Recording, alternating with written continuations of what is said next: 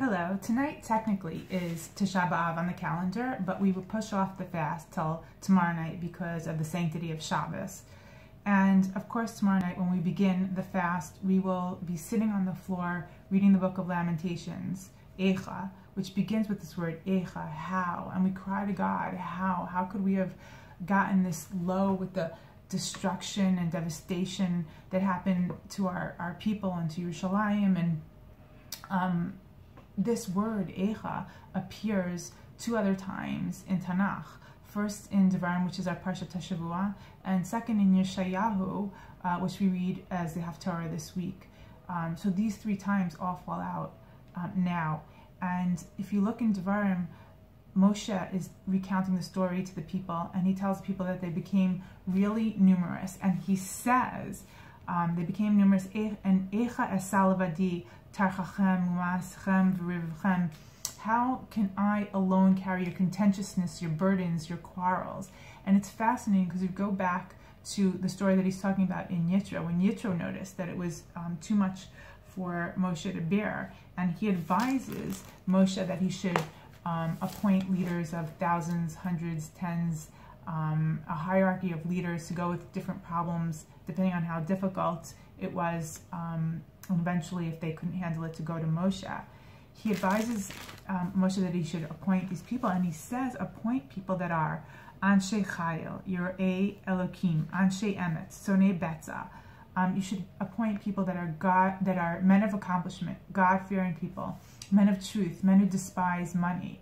And when we see that Moshe did appoint the people, all it says is that he appointed Anshe Chayil, is these men of accomplishment, but it doesn't say that they had fear of God, that they were men of truth, that they hated, um, that they hated bribery.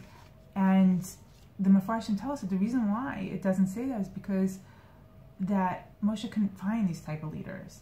And so if we want to know why in Yeshayahu, why Hashem says, Eicha, how did this happen? How did it turn into um, into a harlot? He compares um, uh, what, what we've done is because we've sold out. We've sold our very being.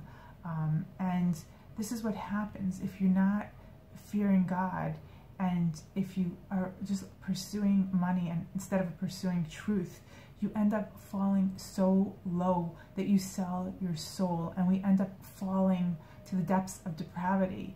And that's what leads us to saying lamentations is we lose ourselves and we fall so far and we end up with um, the destruction and the devastation of our people and of our land and of our country and um, we cry Eicha.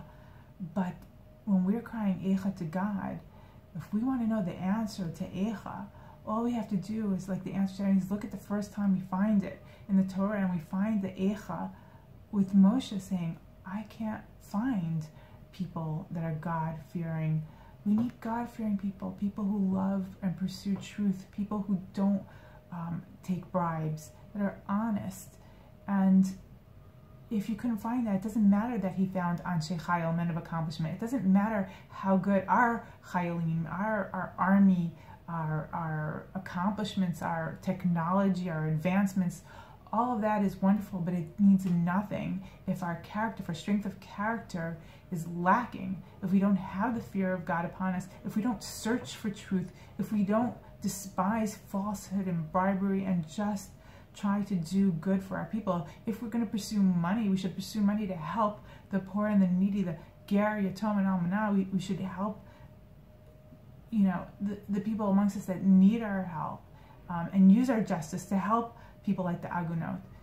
So if we want to stop sitting on the floor and crying because we're losing wonderful people every day because we see horrible things happen till this day, we have to answer that call of Eicha. We have to um, have this enough fear of God, at least to, to pursue truth and to to to despise bribery or anything that that smells of falsehood or or cheating or, or, or prostituting ourselves out um, and stay away from that and pursue um, goodness and helping the gemilot chasadim of helping one another Um, and that is the way we build ourselves up. That is the way we move farther and farther from crying Eicha, is stepping up to the plate um, and, and attaining these qualities of truth, pursuing justice, fearing God, hating falsehood and bribery.